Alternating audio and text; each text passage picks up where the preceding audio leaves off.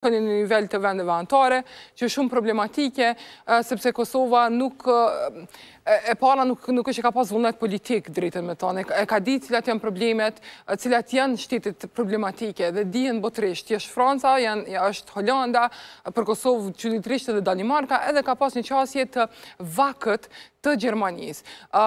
Kjo qasje e vakët e Gjermanisë edhe e Francës, sidomos në raport me Kosovën, është përforcuar edhe më tej, është ftohur komplet në faktin kur kanë qenë dy këshiltarë të lartë politikë të cilët kanë udhtu për Kosovë, edhe presidenti i Kosovës asokohe, zoti Thaçi, nuk i ka prit në mënyrën më miqësore të mundshme. Po. Realisht, edhe demarshi të cilin e ka dërgu Franca dhe Gjermania, LDK-së, specifikisht duke i kërku me mbaj qeverinë në fuqi gjatë kohës së pandemisë është injoruar komplet. Këto kanë lujtë rol shumë të rëndësishëm pastaj gjatë presidencës gjermane mos me pas ndonjë qasje proaktive të lobimit, sidomos të Gjermanisë për futje në agjendë të çështjes së liberalizimit të vizave për Kosovën.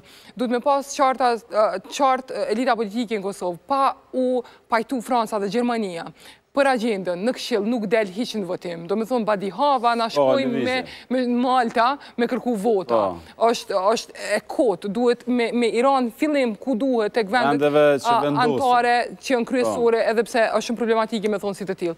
Për Kosovën normalisht kemi shpresu që ka me pas lëvizje pozitive për shkak që edhe me ndrimin e qeverisë në Maqedoni, ajo shkapja e shtetit që filloi me me LSDM-në, kishin çuar mesazhe pozitive që BE-ja nëse veç bëhen ndryshime nga mrenda dhe ka vullnet mrenda për të për të shkapur shtetin, BE-ja ndihmon.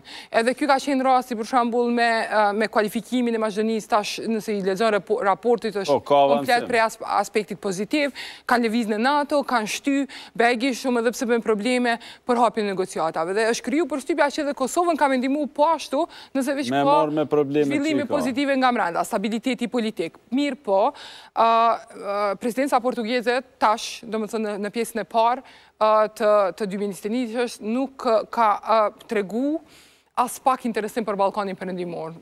Qoftë edhe për ato dy vendet që po presin me i hap negociatat. Për Kosovën e kishte Sot në në fjalim ishte përshëndetja e rifillimit të dialogut Kosovë-Serbi, domethënë komplet jashtë, që i bjen, është një fjalim që u shkru ndoshta shumë shpejt edhe nuk ka pas kohë as me i pa detajet, sepse ai dialog nuk ka rifillu, ai është ende i pezulluar po. që nga ranja e qeverisë Hoti.